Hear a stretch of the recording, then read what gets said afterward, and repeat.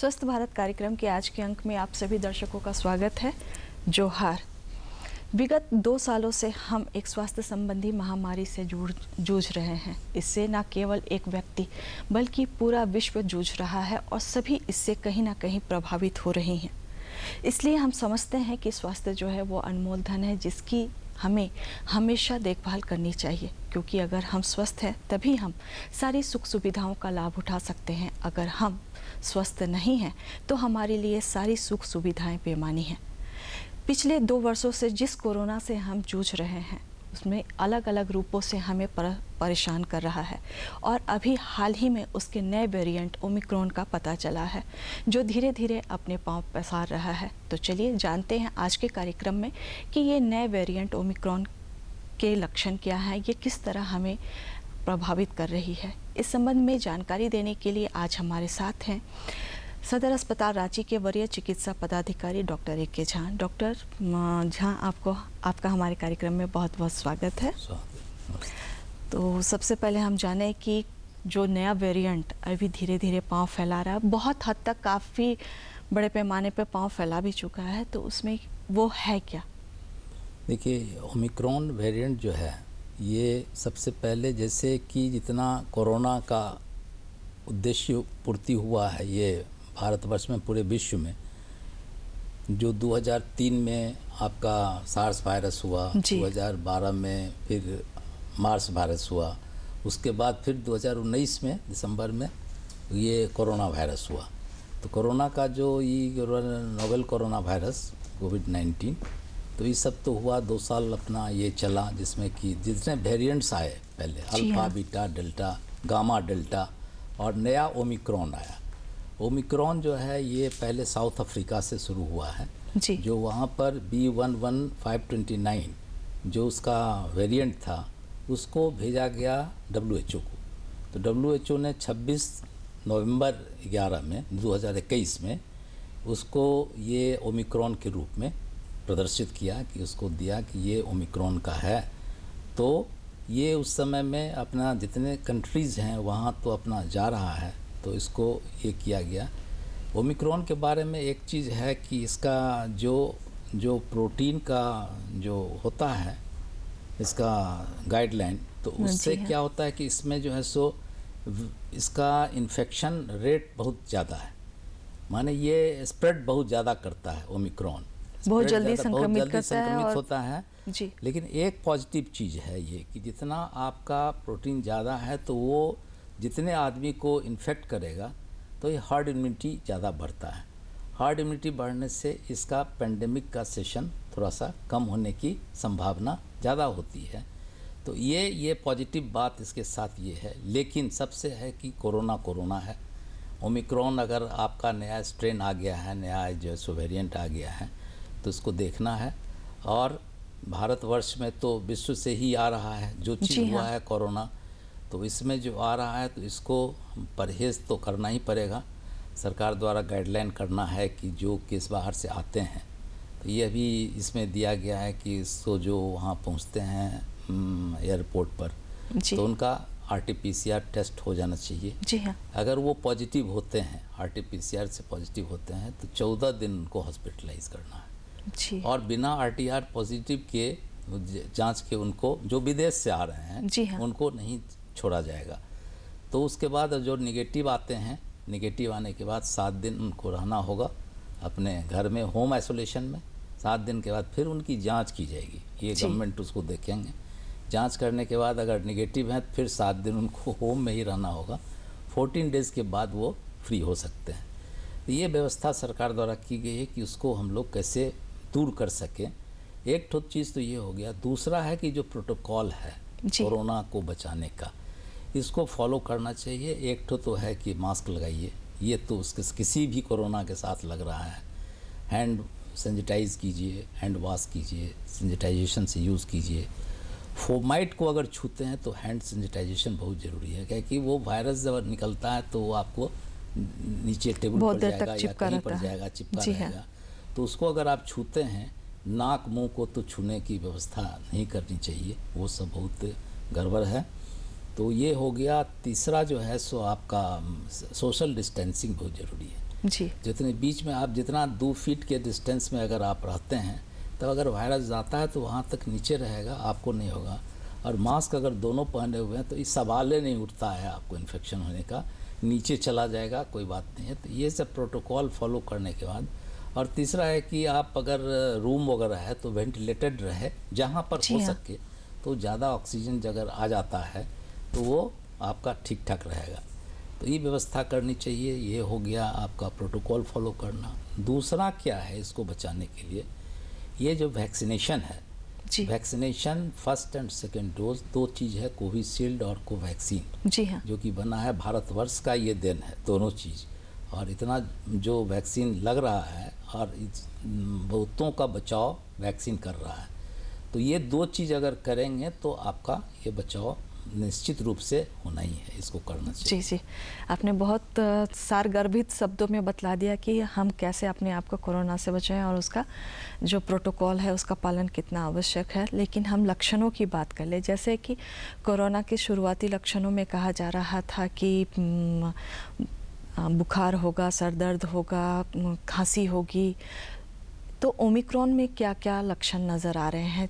अगर इस वायरस से ही कोई संक्रमित है तो उनमें कौन कौन से लक्षण नज़र आ रहे हैं? एक चीज़ हमको यहाँ क्लियर कर देना है कि corona a single standard RNA virus है। जी। और आरएनए वायरस जो है ये आरएनए वायरस चूँकि इसका ये आपका कंडीशन बहुत इसका जो वेरिएंट सब था, बहुत सीवियर था, इसीलिए इसको इतना, मैंने गति हुई, इतना सीरियस हुआ कंडीशन हुआ। तो ये ओमिक्रॉन का जो हम लोगों का है कि इसका लक्षण में आपको जो चीज़ चल रहा है इन्फ्लुएंजा वायरस देखिए, चाहे इसको देखिए, सर्दी, खांसी, बुखार होना, सांस फूलना, बदन दर्द होना, ये सारी चीज़ें होती हैं।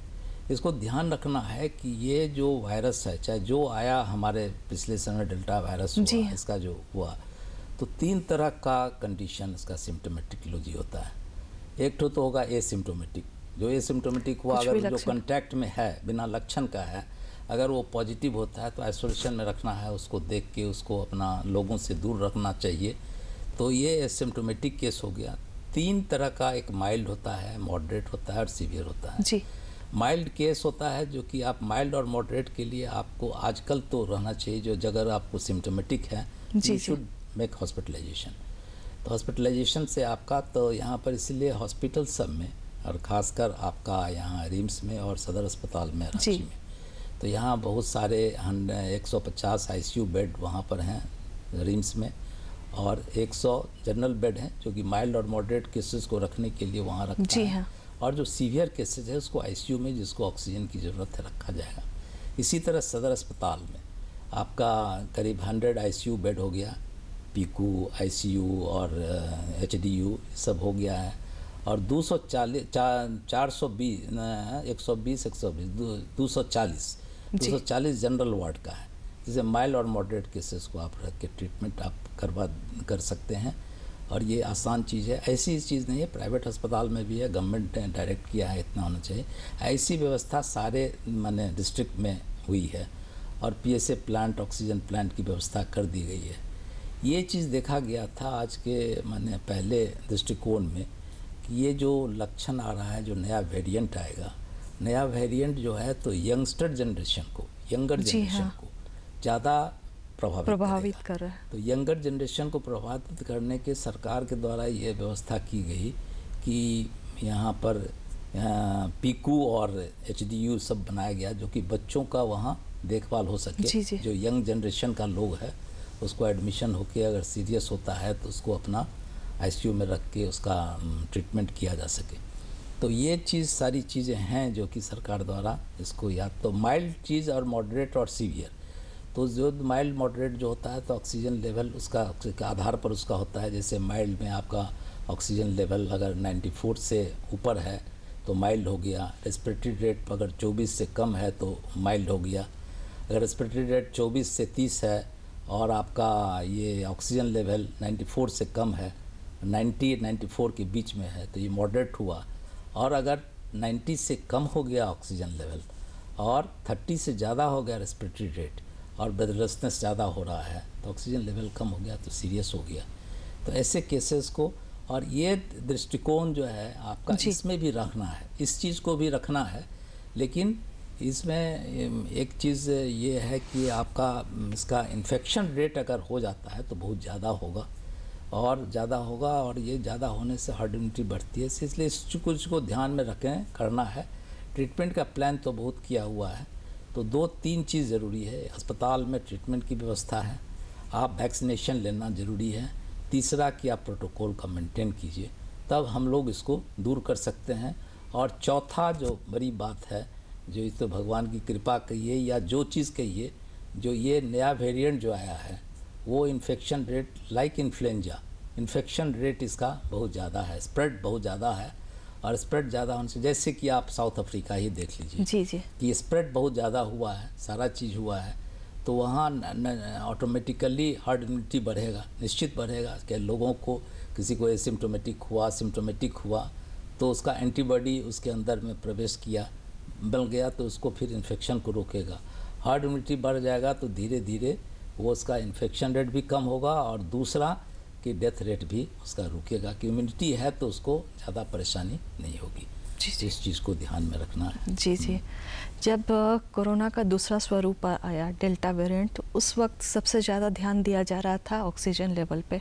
ऑक्सीजन का लेवल जैसे जैसे कम होने लगता था ये महसूस होने लगता था कि हाँ अब मरीज़ को अस्पताल में भर्ती करवाना ज़रूरी है ऑक्सीजन सिलेंडर देना ज़रूरी है और ऑक्सीजन की व्यवस्था करना बहुत ज़रूरी हो गया और बहुत बड़े पैमाने पे ऑक्सीजन की आवश्यकता जो है वो बढ़ गई और अ, ऐसे में देखा गया कि कहीं ऑक्सीजन मिल रहा है कहीं नहीं मिल रहा है कई लोगों की मृत्यु ऑक्सीजन के अभाव में हुई।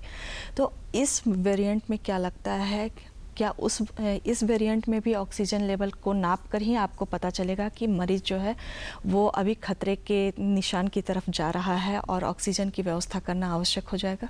देखिए जैसो मैंने बताया प्रोटोकॉल माइल्ड मॉडरेट और सीवियर केसेस है तो ये प्रोटोकॉल तो चलेगा चाहे कोई भी वेरिएंट है कोरोना कोरोना है जी। जो कुछ है लेकिन इसमें अगर आपको अब गवर्नमेंट के द्वारा ये किया गया कि जो पॉजिटिव निकलता है दे मस्ट बी हॉस्पिटलाइज पहले ऐसा था कि अगर पॉजिटिव हो गया कोरोना से तो होम आइसोलेशन में है हाँ, ट्रीटमेंट कर रहे हैं। इससे उसका स्प्रेड दो लोगों में इतना ध्यान तो लोग देता नहीं था। लोग समझता था कि होम आइसोलेशन में है लेकिन इसका कारण हुआ कि स्प्रेड थोड़ा सा ज़्यादा हुआ सारा चीज़ हुआ। इसलिए सरकार के द्वारा है कि जो पॉजिटिव केस अगर मिल जाता है जो गाइडलाइन हुआ है उसको एडमिशन कराना चाहिए। और एडमिशन करा के माइल्ड मॉडरेट है, अपना कुछ दिन रहें नेगेटिव हो जाने के बाद सारा जाँच की प्रक्रिया है प्रोटोकॉल है टेस्ट का, उतना टेस्ट करने के बाद उनको डिस्चार्ज किया जाए। और दूसरी चीज़ है कि अपना सरकार ने जो वैक्सीनेशन के लिए जो कहा है, इस चीज़ को बहुत ध्यान में रखना है कि वैक्सीनेशन ये सोर्स होता है। और तीसरा चीज़ जो आपको हम बता दें कि आजकल अगर आप देखिए तो लोग समझ गए कि कोरोना ख़त्म हो गया, कोरोना ख़त्म हो गया। और ना मास्क लगाते हैं ना सोशल डिस्टेंसिंग है भीड़ भाड़ से भी बचते नहीं हैं। तो ये सारा चीज़ को जब तक कि पेंडेमिक ख़त्म नहीं हो जाता है तो मेरा ये दृष्टिकोण है कि पेंडेमिक के ख़त्म होने तक सबको सचेस्ट रहना चाहिए। और दूसरा कि वैक्सीन ज़रूर लेना चाहिए। वैक्सीन देखिए इसका इसका साइड इफ़ेक्ट कुछ नहीं है। हम कितना देखते हैं अस्पताल में लोग आते हैं देखते हैं कि आपने वैक्सीन नहीं लिया नहीं तो हमको बीमारी। हम कहा कि ये चीज़ तो सरकार ने रोक दी। पहले था कि 40 साल से नीचे वाले को चाहे ऊपर वाले को पहले देख लेना है कि बीमारी नहीं है तब करना चाहिए था। लेकिन जब देखा कि वैक्सीन का कोई साइड इफ़ेक्ट ऐसा नहीं है तो ये डिस्कार्ड कर दिया गया कि अगर सब कंट्रोल में है तो दे शुड टेक वैक्सीनेशन तो वैक्सीनेशन बहुत ही इंपॉर्टेंट चीज़ है। और ये हम बता दें कि जो वैक्सीनेशन है वो कोरोना के ही अगेंस्ट में है। जी हाँ। तो उसका कोई भी वेरिएंट रहे उससे कोई मतलब नहीं होता है। वैक्सीन लेना है तो वो फ़ायदा करेगा ही। इसीलिए जो जहाँ जहाँ दूसरे कंट्रीज़ में भी जो वैक्सीन हुआ है उसका आधार वही है। भारतवर्ष में चूँकि अपना कोविशील्ड और कोवैक्सीन बना है तो इसको ही करना है। एक थर्ड जो पॉइंट हम बताना चाहेंगे कि ये चीज़ सरकार इसमें प्रयास में है भारत सरकार भी कि ये 18 साल से नीचे वालों के लिए ये वैक्सीन की व्यवस्था हो रही है।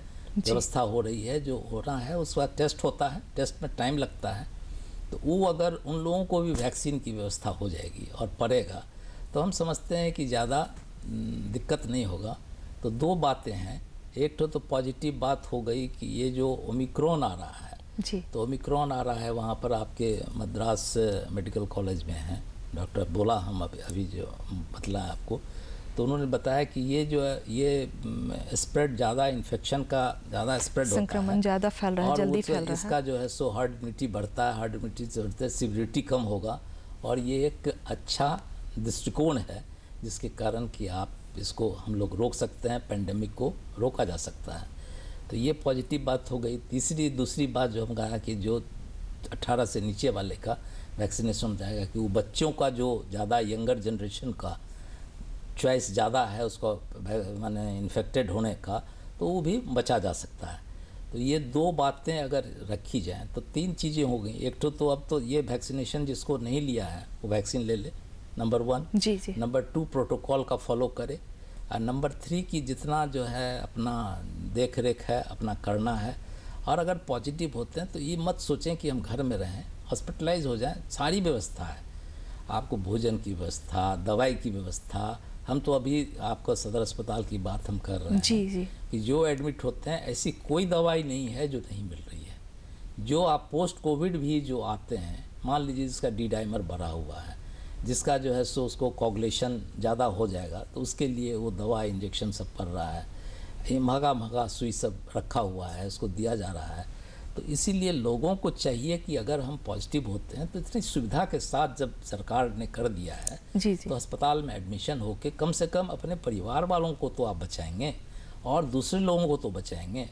तो ये सब चीज़ दृष्टिकोण रखना ज़्यादा ज़रूरी है। इससे हम समझते हैं कि ये सारे बातों से ये पेंडेमिक को हम लोग दूर कर सकेंगे। हाँ और सरकार के साथ साथ हमें भी ये प्रयास करना चाहिए कि हम अपने आप को स्वस्थ रखने के लिए इन नियमों का, जो कहा जाता है कोरोना गाइडलाइन का पालन करें। हम लिख तो अवश्य लेते हैं सभी जगहों पर, लेकिन कोरोना गाइडलाइन का पालन करने में हम उतने जागरूक नहीं हैं। हम सामाजिक दूरी का पालन नहीं कर रहे हैं, हम मास्क का प्रयोग नहीं कर रहे हैं, और हाँ हैंड सैनिटाइजेशन को तो हम लगभग भूलते जा रहे हैं, लेकिन अब फिर से ये समय आ गया है जहाँ कि हम सामाजिक दूरी का पालन करें मास्क का प्रयोग नियमित रूप से करें और हैंड सैनिटाइजेशन का भी प्रयोग करते रहें। साथ ही जो बीच में हम भूल आ, नियम पालन कर रहे थे कि जब ज़रूरी होता था, तभी हम घर से बाहर निकलते थे। लेकिन आज हम उस बात को भूलते जा रहे हैं और अनावश्यक हम बाहर निकलकर भीड़ बढ़ा रहे हैं और भीड़ वाली जगहों पे जा रहे हैं।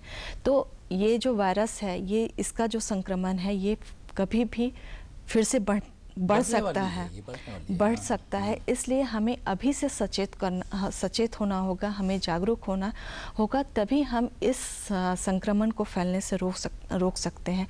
थोड़ी सी भी नासमझी या नादानी इसे भयानक रूप दे सकती है। हम बात कर रहे हैं कि हाँ कोरोना के किसी भी वेरिएंट से हम वैक्सीनेटेड हैं या टीकाकरण हमारा हो चुका है तो हम अपने आप को बचा सकते हैं। तो आज हमारे राज्य और हमारे देश में कोरोना टीकाकरण की क्या स्थिति है? ये देखिए, हमारे यहाँ भारतवर्ष में तो करीब करीब फ़र्स्ट डोज और सेकेंड डोज मिला के करीब एक अरब चालीस करोड़ के आसपास वैक्सीनेशन हो चुका है। तो इसमें दोनों डोज मिला के हैं। तो इसमें जो फ़र्स्ट डोज लिए हैं ठीक है फ़र्स्ट डोज लिए हैं उनको सेकेंड डोज भी ले लेना चाहिए। सेकेंड डोज ले लेने के बाद उनका इम्यूनिटी क्योंकि अगर सेकेंड डोज आप नहीं लीजिएगा अगर मान लीजिए ट्रैवल करते हैं सबसे बड़ा अच्छा बात क्या है आप दो डोज अगर ले चुके हैं और ये सर्टिफिकेट आपको है कि हैव टेकन सेकेंड डोज तो। आपको ज़्यादा टेस्ट की ज़रूरत नहीं है। क्या कि प्रिवेंटिव मेजर हो गया आपको। संक्रमण आपका नहीं होने की संभावना इसमें बढ़ जाती है और साथ में मास्क का प्रयोग करते हैं। तो आपका लाइफ तो सेटल्ड है, उसको करना चाहिए। तो भारतवर्ष में ऐसा हो गया, झारखंड में भी करीब आपको हम समझते हैं कि करीब तीन करोड़ कुछ लाख का टोटल फ़र्स्ट और सेकेंड डोज हो गया है पूरे झारखंड में। और यहाँ रांची में भी हमारा लगता है अस्सी पचासी लाख के करीब फ़र्स्ट डोज और पैंतालीस लाख के करीब सेकेंड डोज हो गया है। तो ये भी आपका बहुत ज़्यादा है। है, जी हाँ। सेफ्टी है। तो ये सब करने के बाद लोगों को लेकिन जो कम है उसको देखना चाहिए कि वो वैक्सीनेशन ले लें जो कंप्लीट कर लें वैक्सीनेशन को। और सदर में तो बराबर वैक्सीनेशन का सेंटर खुला है और सब जगह हो रहा है।